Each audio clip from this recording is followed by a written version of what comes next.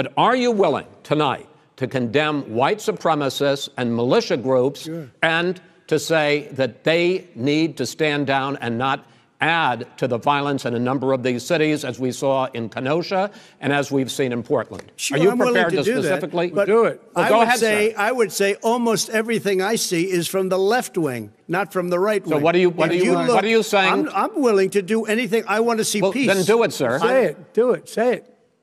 Do you want to call him?